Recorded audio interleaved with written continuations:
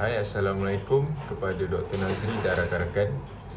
Saya Muhammad Harid Daniel bin Muhammad Mahiri ingin menceritakan serba sedikit perjalanan saya semasa saya uh, mengambil gambar assignment satu iaitu Celebrity Looks Like.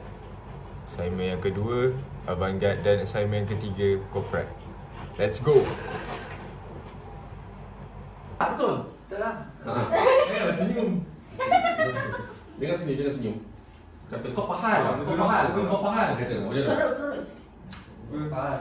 Alah, baik sampai kau faham. Dia kan kau tampak ni hari kau ni. Kau ni kan.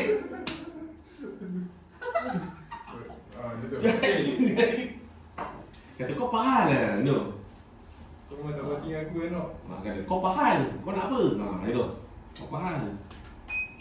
Oh, terus ni Ah, ni comel, ni comel. Kita nak masuk sini. Atas sikit terus.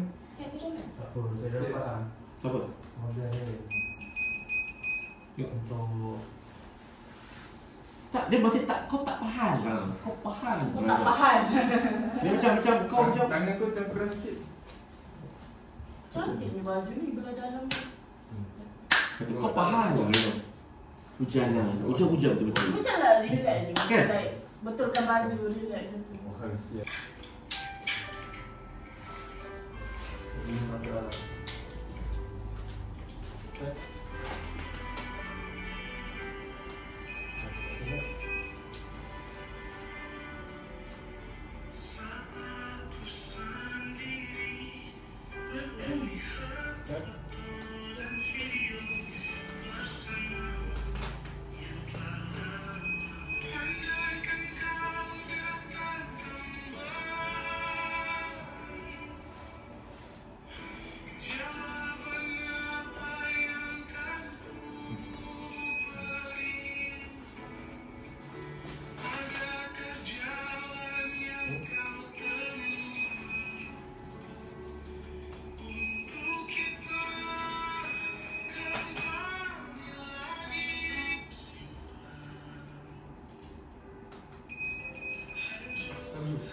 Sini eh?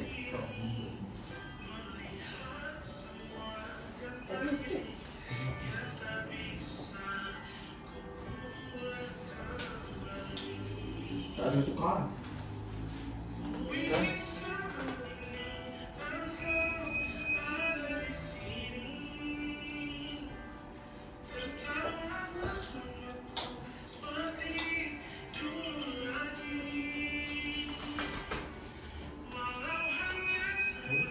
Okey, untuk assignment yang pertama iaitu Celebrity Looks Like Saya menggunakan lighting ratio 1-1 Di mana lighting itu sekata di pada muka uh, model.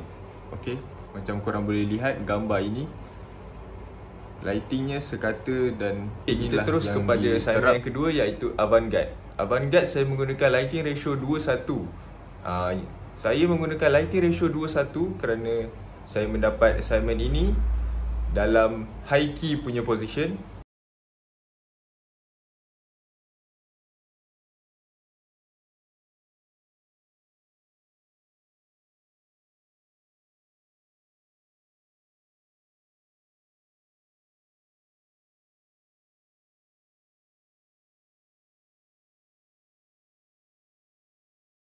Berbeza pula dengan kelas B di mana diorang mendapat uh, assignment avantgarde ini dalam low key punya position. Okey.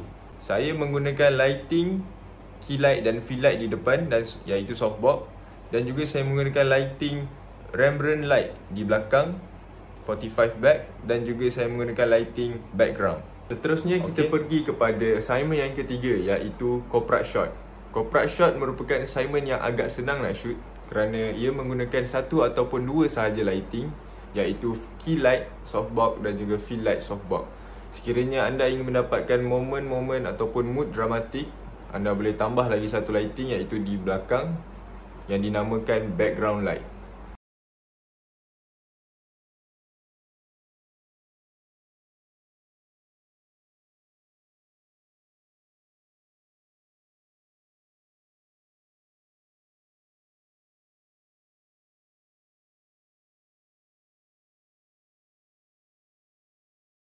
Sekian itu saja daripada saya Muhammad Harid Daniel bin Muhammad Hairi.